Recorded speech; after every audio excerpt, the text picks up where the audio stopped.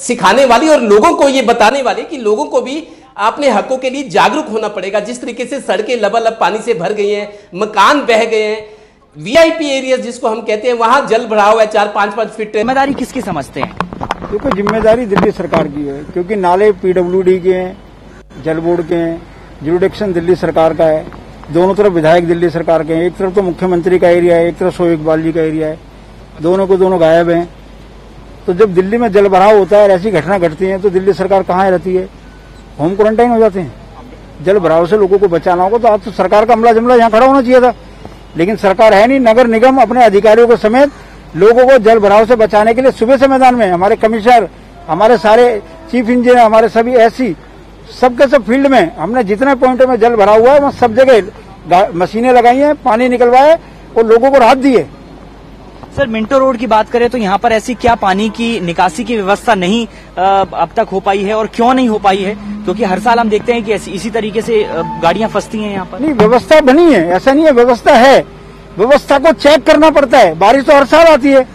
नाले साफ़ हुए कि नहीं हुए? पंप काम ठीक कर रहे हैं कि नहीं कर रहे? अधिकारी मॉनिटर कर रहा है कि नहीं कर रहा? ये सरकार को देखना पड़ता है। लेकिन जब सरकार सोती रहेगी तो दिल्ली की जनता ऐसे रोती रहेगी।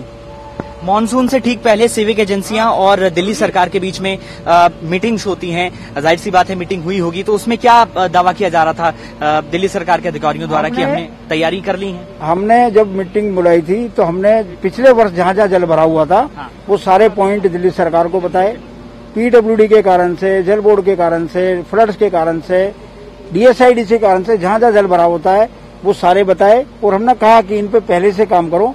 वहाँ पंप लगाओ मशीन लगाओ जो काम करना आपको करो तो दिल्ली सरकार ने हमें विश्वास दिलाया था कि हम अच्छे से काम करेंगे आप निश्चिंत रहो लेकिन दिल्ली सरकार सिर्फ़ कहती है करती कुछ नहीं लेकिन ऐसे में एमसीडी की क्या ज़िम्मेदारी आप लोग मानते हैं? एमसीडी की भी तो ज़िम्मेदारी है पानी की निकासी की।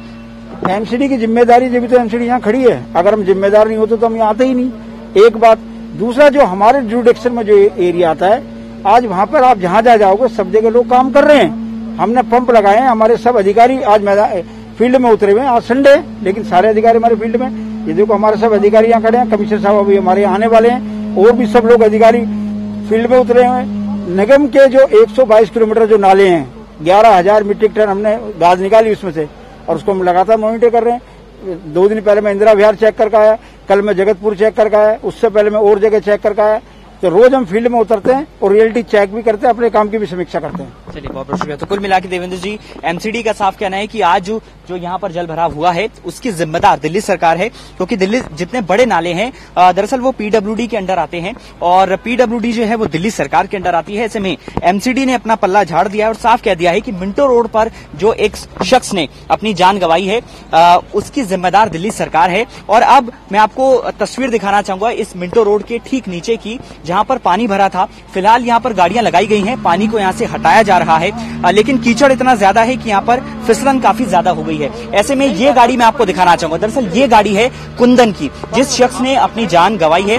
दरअसल कुंदन सिविक सेंटर की तरफ़ से जो है ये कनाट प्लेस की तरफ़ जा रहा था। इसी गाड़ी में, ये कुंदन की गाड़ी है, छप्पन वर्षीय शख्स ने, जिसने अपनी जान गंवाई है। और जब यहाँ पर पानी भर गया, उसके बाद कुंदन इसी गाड़ी के अंदर फंस गया और वो निकल नहीं पाया, जिसकी वजह से कुंदन की यहाँ पर मौत हो गई। और कहीं ना कहीं यहाँ पर अब पानी जो है वो निकाल लिया गया है और अगले एक से डेढ़ घंटे में हम कह सकते हैं कि ट्रैफ़िक जो है वापस यहाँ पर खोल लिया जाएगा। लेकिन फ़िलहाल आप देख पाएँगे कि डीटीसी बस एक ये छोटा हम कह सकते हैं कि स्कॉर्पियो गाड़ी, जो लोडिंग गाड़ी होती है, वो यहाँ पर फंस गई थी। इसके साथ साथ एक ऑटो फंस गया था और एक चौथी गाड़ी, ये कुंदन की फंस गई थी, जिसने अपनी जान गंवा दी। ज़ाहिर सी बात है, देवेंद्र जी, अब तमाम जितनी सिविक एजेंसियाँ हैं, उनको जागना होगा, क्योंकि इस बार जो जल भरा हुआ है मिंटो रोड पर, उसमें एक शख्स की जान गई है और अगर अभी भी तमाम सिविक एजेंसियाँ और दिल्ली सरकार नहीं जागी तो आने वाले समय में हम कह सकते हैं कि और स्थिति जो है वो गंभीर हो सकती है। ऐसे में दिल्ली एमसीडी ने भी तो अपनी जो जवाबदेही है, उसमें साफ़ कहा है कि ये हमारी ज़िम्मेदारी नहीं थी। ये ज़िम्मेदारी दिल्ली सरकार की थी और कहीं ना कहीं अब आने वाले समय में दिल्ली सरकार इस पर क्या जवाब देती है, ये देखने वाली बात होगी। देवेंद्र जी।